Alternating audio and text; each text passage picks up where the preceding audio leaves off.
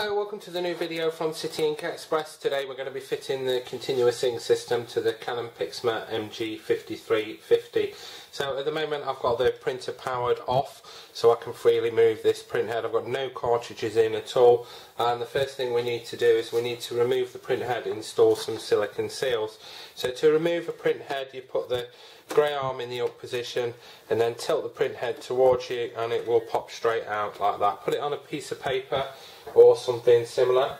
Now within your accessory pack you will have some small silicon seals and what you do is you place one of the silicon seals around the nozzle of the printer, uh, one for each colour. So you'll have four small ones and then you'll have one large black one uh, a different shape for the large black cartridge. So try not to touch the, the metal nozzles at all when you're doing that.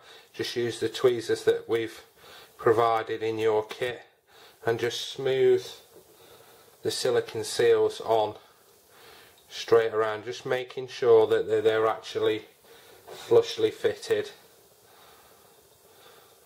so the purpose of the silicon seals is to, is to create an airtight seal at the bottom of the cartridge. Once they're in, you can pop the cartridge, the print head back in uh, at an angle and then lock the grey arm back in the down position. That bit's quite important. Uh, put the grey arm down. So we're going to come to install the continuous ink system itself now. So I've got the cartridges. So the first thing you need to check before you take the orange caps off is that over here on the continuous ink system that the roller is in the down position it must be locked down and then you can proceed to take off the orange cap so hold them all in your hand. And then you should just be able to take off all the orange caps. Like so.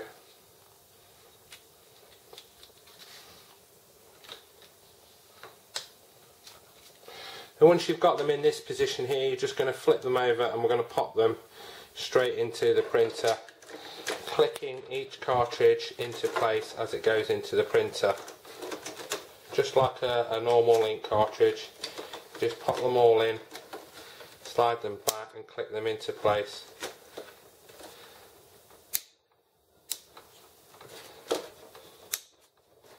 Uh, so all five of them are now clicked in. Uh, hopefully you can see that. See, I can't open the scanner lid anymore for you to get a better view, but let's adjust the camera. So they're all in. Uh, so the next thing, partway down your ink line, you have this uh, this clamp here. You need to remove the green backing tape from that. Now this will actually affix to the underside of the printer lid. So I'll affix it uh, and then I'll uh, move the camera so you can see exactly where it goes. So just make sure there's no twists or kinks straight off this ink line and it actually gets attached underneath the lid. Uh, so it's probably about just on the edge of the uh, couple of inches to the right of the end of the Canon logo or about an inch and a half to the right over here so you can see where that and then halfway down the printer so that it's in line with the cartridges but what I'll do is I'll flip the printer up so you can see exactly where. So you can see there where I've installed my clamp in this position here and its alignment is just to the right of the cartridge bay in the middle over there. So before we actually can continue, we need to check the ink line uh, adjustment is correct. So you imagine when the print head moves over to the right, that's great, you know, you've got plenty of room there. And when it moves over to the left hand side, it can't reach at the moment so it can't reach but what you have to remember is that you're going to partially close remove that plug you're going to partially uh, close this printer lid so you can imagine when you do that the ink line is going to become lower uh, so it might actually be the adjustment might actually be correct so what I'm going to do is I'm going to manually what you're checking I'll manually close the lid but what you're checking is that the ink line is not hitting this this uh, triangle shape here if it hits there uh, and starts jamming there, it could cause issues. So the best way to do it is to close the, the lid partially. But before I do that, actually, let's fit the printer lid cover. So within your accessory pack, there is uh, a metal clamp like this. You need to take one of the green backing tapes and attach it to the bottom of the clamp like that. And then what you do is you just remove the green backing tape. Now it actually gets placed over here on the right hand side. Just on an angle is fine, just so it's like part, partly on there. Move my hand so it's partly on that on the on the back ridge and partly on the front ridge. and then actually close your lid, and your lid should actually hit that clamp. So the lid won't close anymore, you've got that partial gap which is normal. So that means that you've fitted the clamp in the right hand side in the right place. Now only when you've closed it like that you should you should come down and then look in here and then check your ink line. So what I'm actually doing now is I'm manually sliding my print head over to the left hand side and what I'm doing is I'm making sure that that ink line, let's lift it up, I'm making sure that that ink line doesn't hit here. If it does, you need to adjust it through this ink line by pulling it through this clamp, uh, making it shorter or tighter.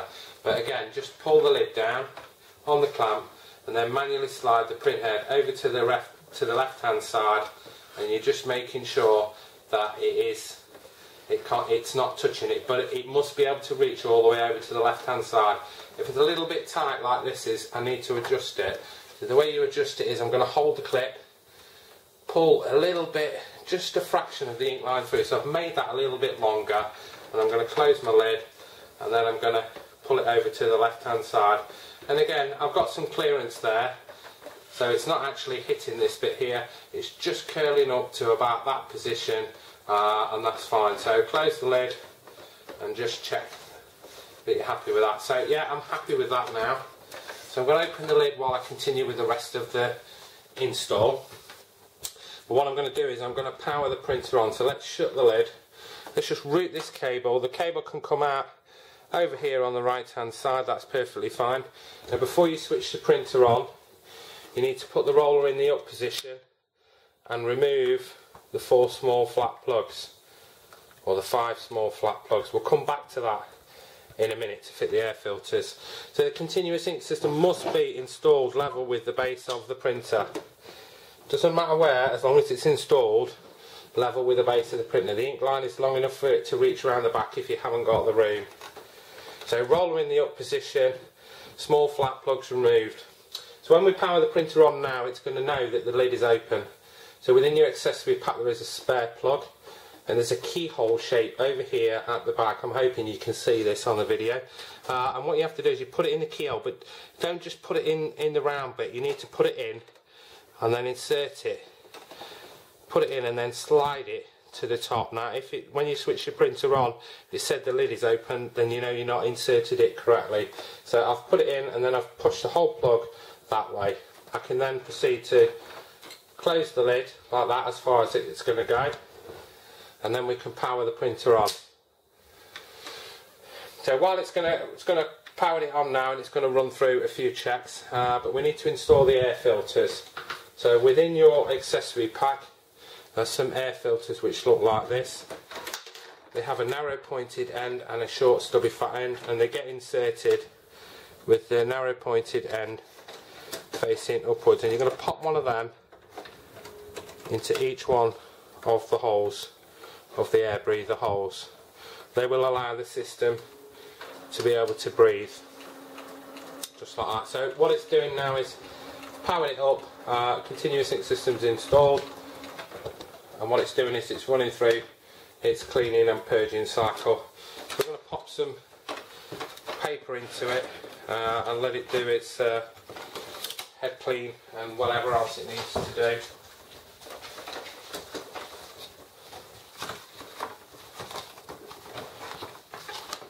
So it's first time it's been used, so I'm going to select my language, head alignment sheet, uh, load a sheet of specified into the rear tray. So it's asking me to feed it into the rear tray and then press OK.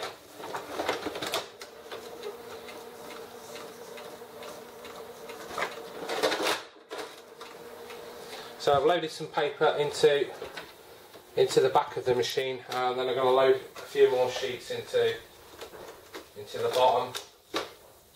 So because this is a brand new printer straight out of the box it's telling me that it needs to run a head alignment sheet which unfortunately says it's going to take about six minutes. So that's what happens when you get the uh, printer straight out of the box.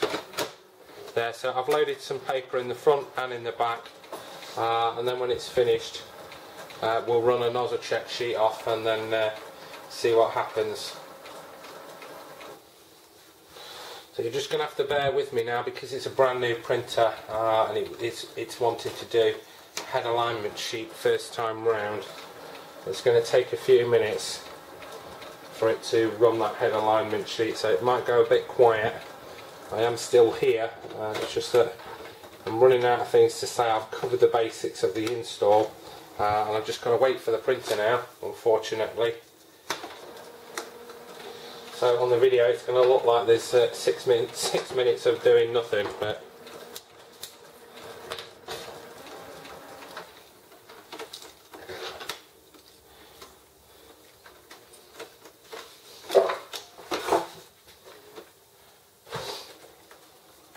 So we've had no errors at all uh, at the moment, no chip issues, no uh, errors on the cartridge at all, which is always good when you're installing the ink systems.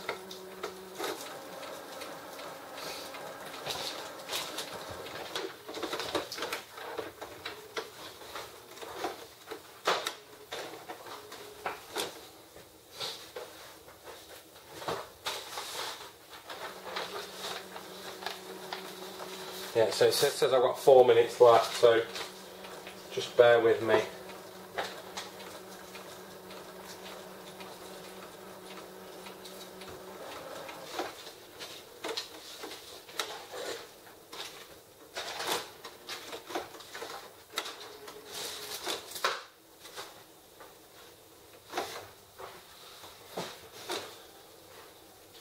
So there's no way for it for me to uh, to bypass that function. So as you can see uh, while it's doing that, you know you can still use all the functions of this printer. You can still use the scan functions and all the other facilities of it, uh, even with the lid open, because we've bypassed the printer lid sensor.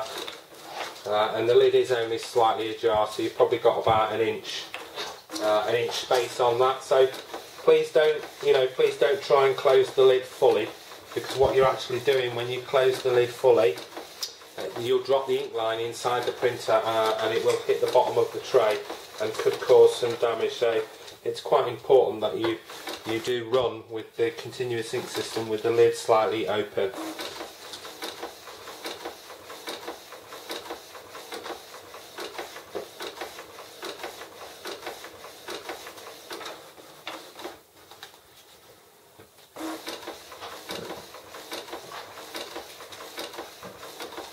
So if I can get the camera down, you might be able to see the print head moving. Yes, I think you can see the print head moving backwards and forwards in there. And uh, that's how they normally run. It will just run uh, like that. So I can see it's actually printing uh, its head alignment sheet. As you can see, it's quite straightforward uh, to fit on this model. Uh, it's just a case of of getting your, your, clamps and your clips and everything in the right positions.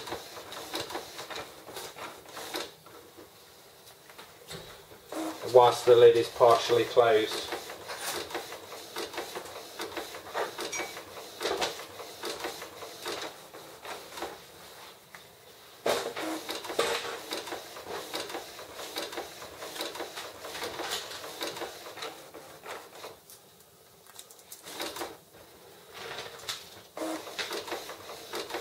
So when you get a brand new printer, you know, you've probably you've probably already done this stage, but it's going to be doing the same thing for you, to be honest.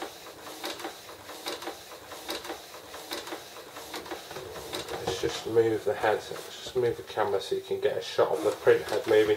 You can't see a lot, but you know you can't open the printers on on these while they're printing, like the other videos that I do. You know you, you can't just open the lid on these once it's. Uh, once it's printed, unless you've got a problem, you should just leave leave the printer lid closed.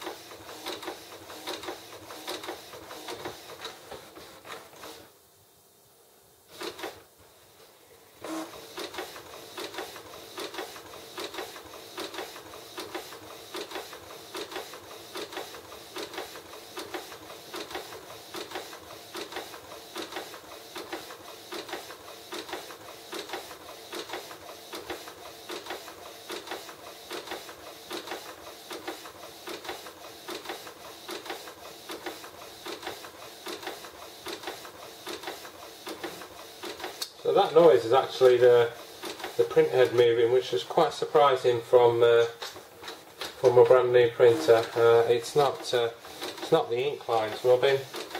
It's actually the print the noise of the print head.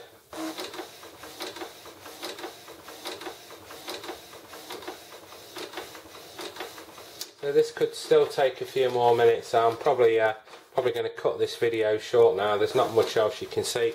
Uh, you can see it's printing the document. Uh, and I've taken the camera back and you can see how the printhead moves uh, left to right and right to left. And that's how you install uh, the continuous ink system on the Canon MG5350 from City Ink Express. Thank you.